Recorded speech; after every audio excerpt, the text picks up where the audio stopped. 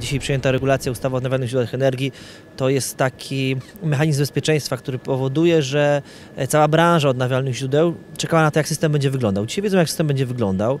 Czy ten system się sprawdzi, to pokażą pierwsze aukcje, jak ten system będzie działał w praktyce, ale wiemy już, jakie jest prawo. E, jak ono zadziała w praktyce, za pół roku będziemy wiedzieć. Jak to z każdym rozwiązaniem prawnym. E, niektórzy krytykują, inni są zadowoleni.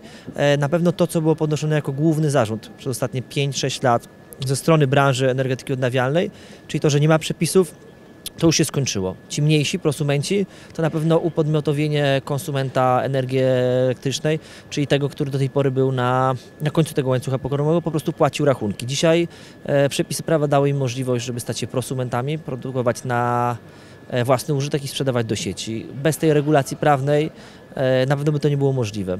E, jak ona będzie działać? E, na dzień dzisiejszy wydaje się, że jest wiele takich wątpliwości prawnych, które pojawią się wtedy, kiedy ten system wejdzie w praktykę. Bo dzisiaj mówimy o rozwiązaniach teoretycznych. Dzisiaj jesteśmy mistrzami teorii, jeżeli chodzi o rozwiązania prawne i ratowania polskiego bezpieczeństwa energetycznego. Zobaczymy, czy będziemy też takimi skutecznymi uczniami e, praktyki, ale to też od tego jest prawo, żeby je nowelizować i na pewno ta ustawa o odnawialnych źródłach energii prędzej czy później będzie znowelizowana tak, żeby zapewnić jak najlepsze korzyści dla systemu, jak najlepsze korzyści dla odbiorców, jak najlepsze korzyści dla branży, dla tej branży zawodowej, e, czyli wiatraków, tej dużej energetyki, jak i tego, co się pojawia realizując kierunek europejski, czyli tej branży prosumenckiej, czyli konsumentów, którzy przychodzą na drugą stronę, którzy się uniezależniają, poprawiają bezpieczeństwo energetyczne, poprawiają też swoje bezpieczeństwo pracy, funkcjonowania, takie, że nawet duże problemy w systemie e, ich nie dotkną.